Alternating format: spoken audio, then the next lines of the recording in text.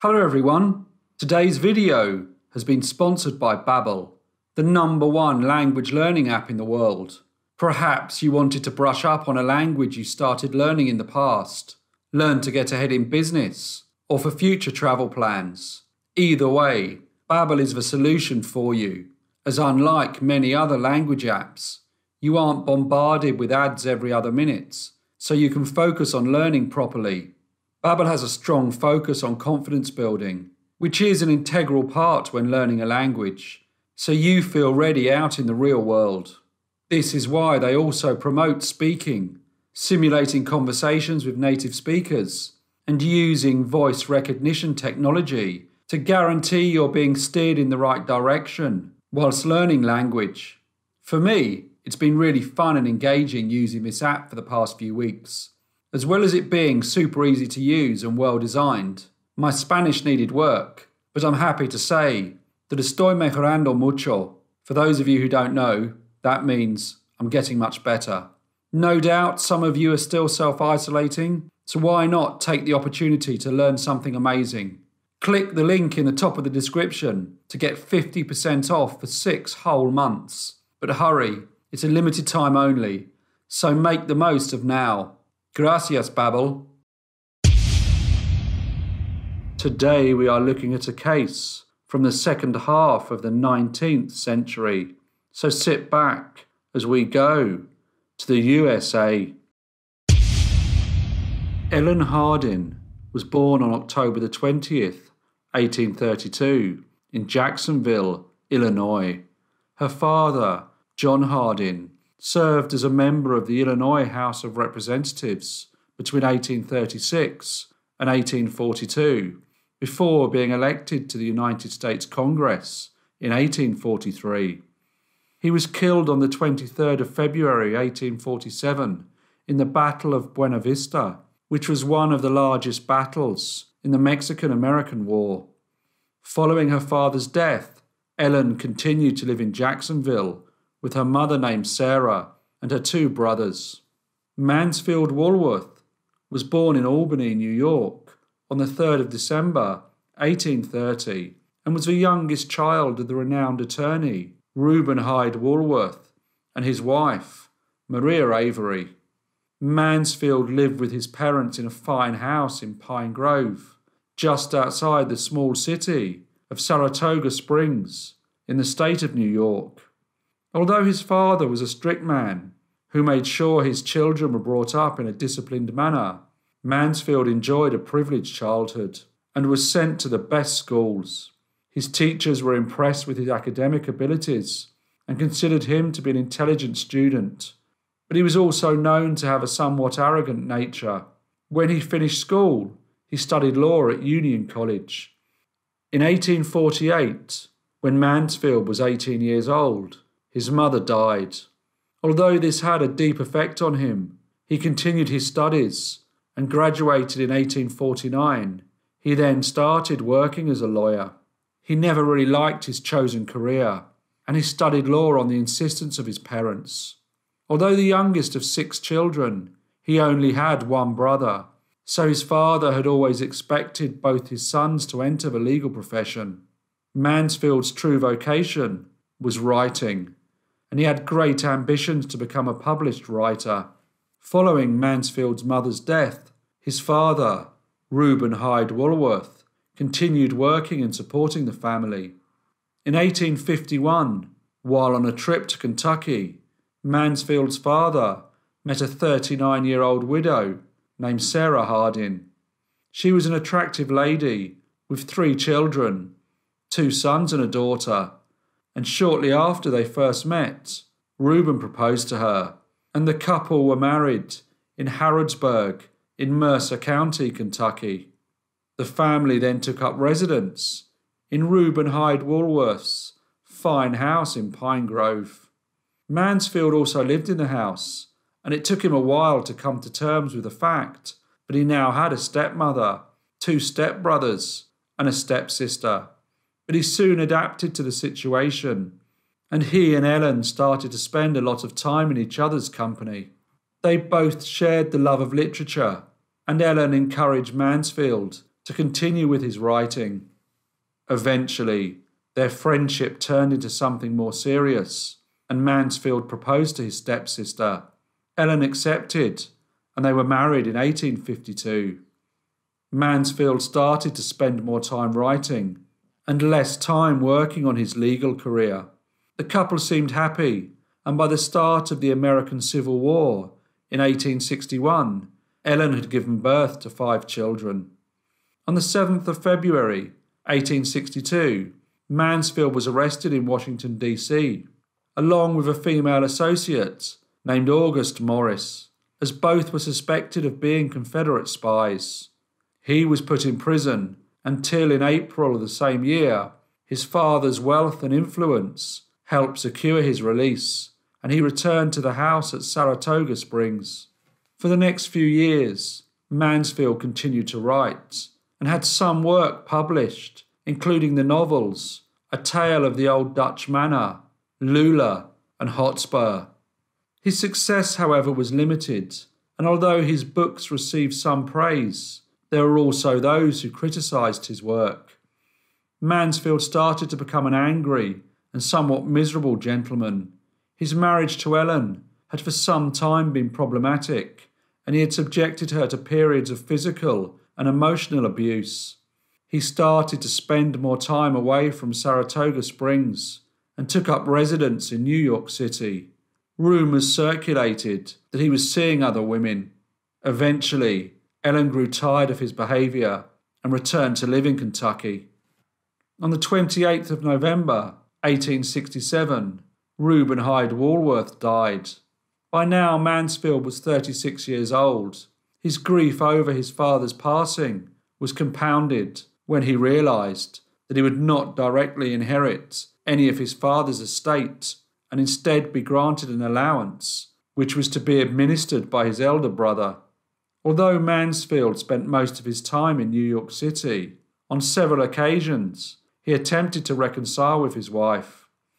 These attempts would invariably end in arguments, and Mansfield would continue with his aggressive nature towards Ellen, who had returned to Kentucky, sometimes bruised and sometimes pregnant. In 1871, she found herself pregnant with the couple's eighth child. Hoping that she could possibly mend the relationship with her husband, she travelled with the children to New York, where she had an apartment.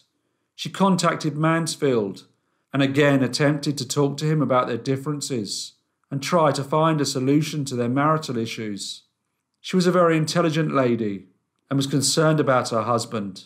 He was, however, a very difficult man, and instead of calmly discussing a way to reunite their family, he became very angry and accused her of attempting to persuade him to return to live in his childhood home at Pine Grove, just outside Saratoga Springs. He was so enraged that he struck Ellen, and when she tried to defend herself, he got hold of her hand and bit one of her fingers to the bone. Her screams and cries for help were heard by everyone in the apartment and by passers by in the street. The couple's 17 year old son, Frank, was in another room, so rushed to his mother's assistance. Ellen returned to Pine Grove and started divorce proceedings. Although Mansfield realised that a divorce may be the best way forward for himself and his wife, he found the terms she proposed totally unacceptable. Ellen, however, would no longer receive him at Pine Grove so he was not able to shout at her or become physically abusive. Instead, he started to write her threatening and disparaging letters. Although Ellen was familiar with her husband's cruel nature, the letters still upset her. But Mansfield just carried on sending them. The couple's oldest son, Frank, had witnessed the breakdown of his parents' marriage and was concerned about his mother. Whenever she received a letter from his father, she would become upset, so he decided that he would no longer allow her to read them and instructed the staff to deliver all correspondence from his father to himself and no longer pass them on to his mother. Frank's relationship with his father was not close. During his childhood, he would not see him for long periods, so his bond with his mother was much stronger. In the summer of 1873, a letter arrived from Mansfield. The letter was written in his usual cruel and vindictive manner and accused Ellen of deliberately keeping the children away from him and manipulating them to think that he was not a good father. In the letter, Mansfield also threatened to harm both himself and his wife. Frank decided that the only way to end the letter writing and to get his father to agree to a compromise over the terms of a divorce was to speak to him. So on the 2nd of June, he boarded a train to New York City. When he arrived, he made his way to his father's residence. It was nothing like the grand house in Pine Grove. Mansfield now resided in a boarding house. When Frank arrived, his father had gone out, so he left a note asking for him to call at the Sturtevant House Hotel on Broadway. The next morning, June the 3rd, 1873, Mansfield Walworth woke up early and made his way to the hotel to see his eldest child. It was six o'clock in the morning, a somewhat strange time to visit, but he arrived and was directed to room 267. He climbed the stairs and knocked on the door. Frank let his father into the room. It was nicely decorated and neatly furnished, a far nicer place to stay than the boarding house where Mansfield was living. A few minutes later, an altercation started. Guests in nearby rooms could hear the raised voices of Frank and his father. They were arguing, but it was difficult for anyone to make out exactly what they were saying. Suddenly, they heard four shots, and everything went silent. Some guests opened the door of their rooms to see what was going on, and they witnessed a young man calmly walk out of his room and along the corridor, past the horrified guests, and down the stairs. The young man made his way to the reception, and without emotion, he informed the front desk porter that he had just shot and killed his father. He then asked him to fetch a policeman. The police took Frank to the station on 13th Street, where he told them that his name was Frank H. Walworth. He handed them his revolver and confessed to killing his father. After making a confession, he was taken to prison to await his trial. The trial began less than three weeks later, on June the 24th, 1873. The press had reported the incident and it had fascinated the public. A member of a rich aristocratic family being tried for the murder of his father was a story that would sell many newspapers. And as the public's interest increased, many additional copies were printed in order to meet the demand.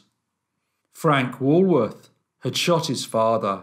The question was whether it was a calculated and planned action or had been done in self defence, or if he was possibly suffering from partial insanity. The defence wanted the letters that Mansfield had written his wife to be included in the trial, but the prosecution argued that they should be excluded. When the judge agreed to include them, it gave the defence the opportunity to try and convince the court that Frank's mental health had been affected by his father's years of physical and emotional abuse towards his mother, Ellen. Frank had been known to have seizures and doctors called by the defence informed the court that he suffered from epilepsy. The prosecution, however, described how calm he was on the day of the murder and how he acted in a very rational way.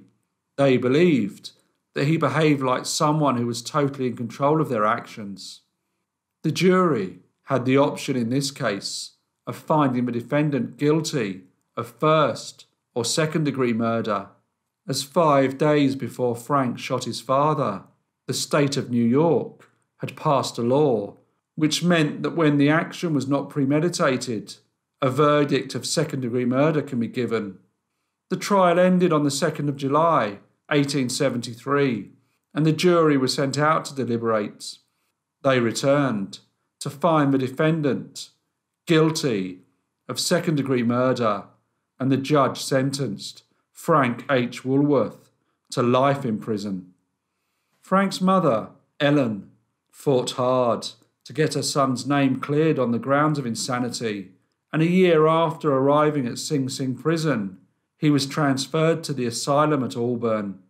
Ellen continued her campaigning, and on the 1st of August, 1877, just four years after shooting his father, Frank Walworth was released from prison after being pardoned by the governor of New York, Lucius Robinson.